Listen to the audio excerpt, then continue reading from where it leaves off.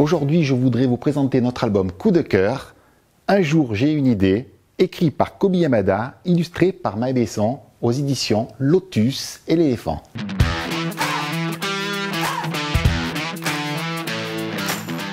Voici l'histoire d'un enfant et d'une idée brillante qui lui permet de prendre vie au fur et à mesure que l'enfant lui fait confiance et commence à l'accepter.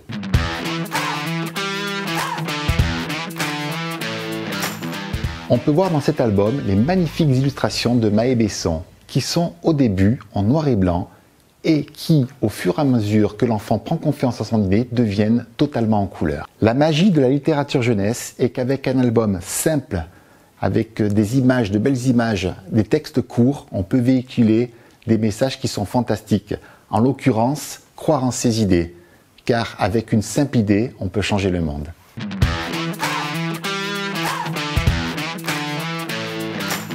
Au début, je n'y ai pas vraiment prêté attention.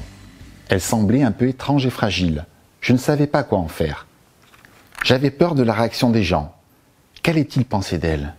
Je l'ai gardée pour moi, je l'ai cachée et je n'en ai parlé à personne. J'essayais de faire comme si rien n'avait changé depuis qu'elle avait surgi.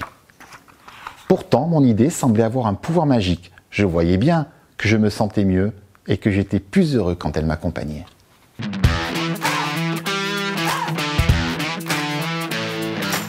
Cette histoire s'adresse aussi bien aux grands qu'aux plus petits qui un jour ont une idée en apparence trop ambitieuse ou trop complexe.